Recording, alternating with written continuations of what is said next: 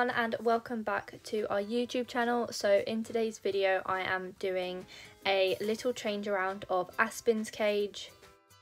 So Aspynn is now two years and two months and he does struggle to get around his cage quite a bit now. As you can see he's a little wobbly on his feet, bless him. So I thought it was time to start adapting his cage to his needs as he's getting older. He's becoming a lot more unbalanced and he does fall over quite a lot now which obviously is really sad. Um, so I just wanted to change his cage and make it a lot more simpler for him. Take out any levels or like anything that is hard that's gonna hurt him if he falls. Um, mainly the bendy bridge over the grapevine. I don't know if you can see that. It's quite a drop to the bedding if he falls off it. So I am going to simplify everything and make it all one level and make sure all his essentials are really close together so that he doesn't have to do a lot of travelling around. So once Aspynn was safely in his carrier with a lot of bedding, I got started and started taking everything out of the cage.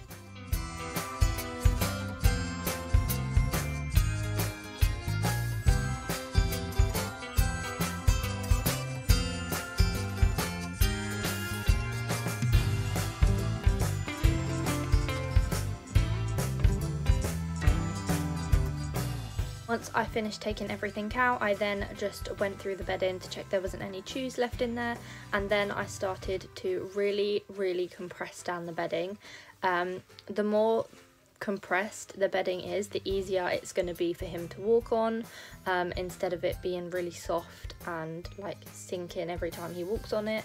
So I made it really, really compressed so that it was really easy for him to walk on. I've also noticed that Aspynn has stopped burrowing. Um, of course, hamsters are ground dwellers and they usually burrow underground and make loads of tunnels um, and chambers where they sleep and eat. But unfortunately, as Aspynn has got older, I think this has just got too tiring for him, and instead, he just likes to make a little nest on top of the bedding um, and he just sleeps in that, usually in a little plant pot, or he'll sleep under his bendy bridge, which you'll see later.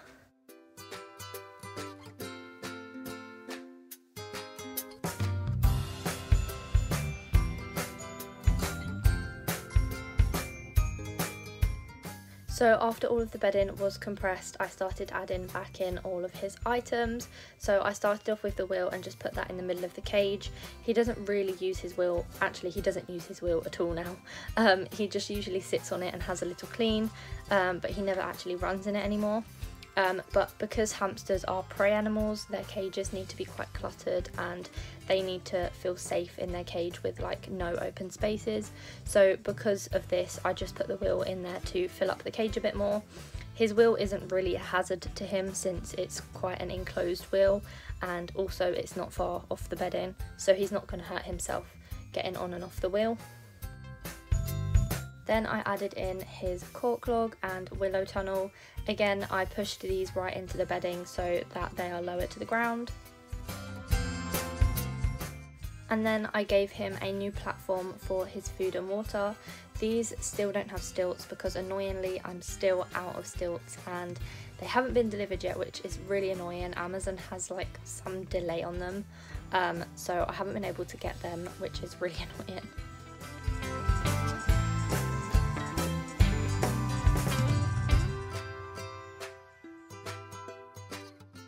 Instead of making his bendy bridge go over something, I just laid it flat across the bedding so that he still has that to enjoy, but it's just flat on the ground and he can't fall off of it.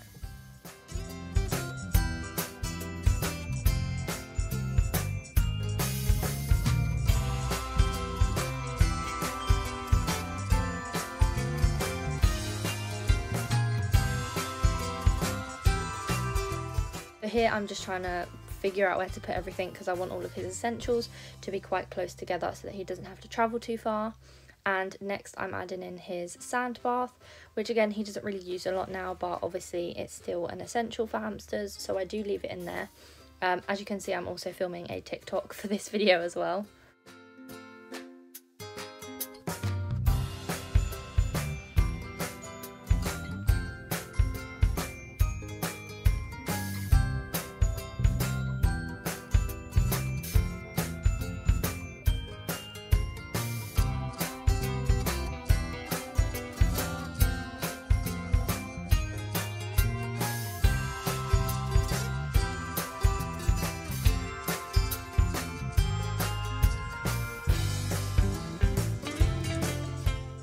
So I do a great job of blocking the camera right here. Um, but anyway, I just added little bits in. There's another piece of grapevine in there. And then I also put in his bendy bridge.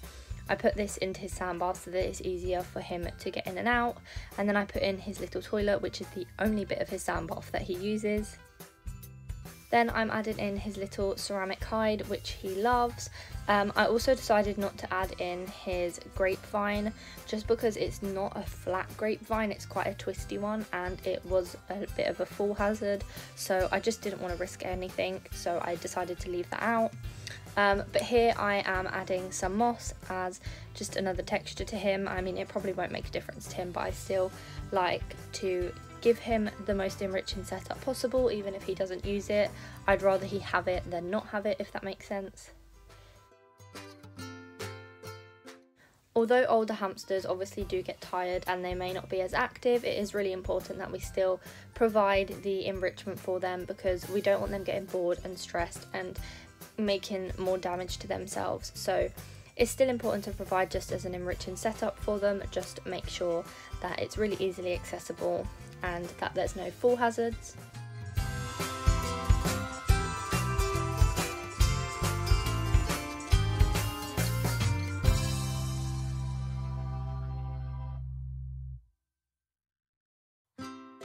So after adding in all of the moss, I then added in some leaves and forage.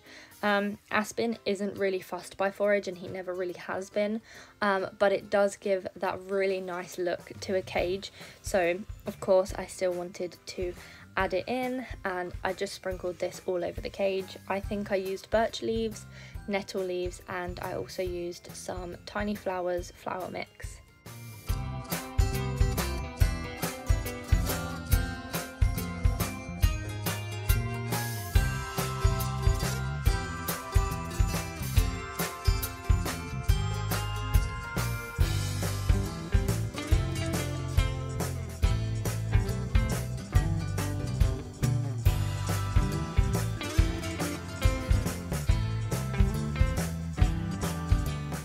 As you can see, the flowers make such a big difference.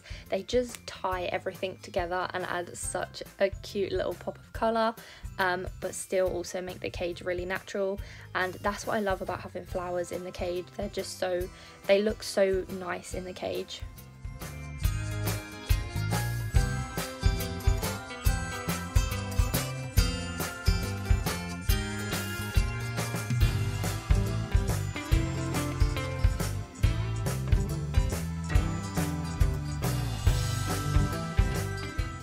So next I'm adding sprays and unfortunately Aspynn actually can't eat the sprays um, because of his illness. He's on a complete soft diet, um, but I did add them in just so that I could take some pictures. I know this is probably really bad, but it just looked empty without the sprays and I still really wanted to post this setup on my Instagram so that people could see like an accessible hamster cage and like get ideas from it. Um, and obviously with any normal hamster you'd still add sprays. Um, so I did add in sprays just for the pictures, but I did end up taking them out at the end.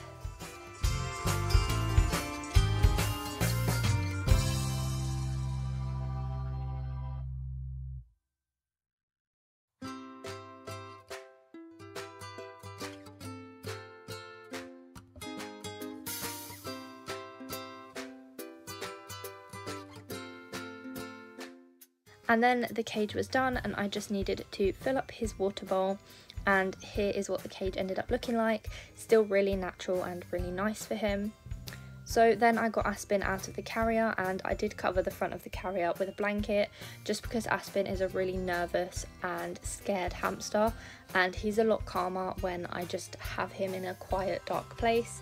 Um, hence the blanket was just over the front of the carrier.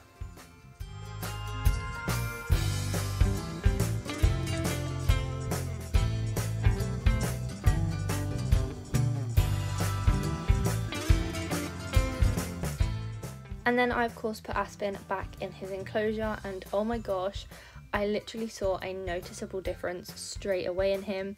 He was walking around the cage so much easier.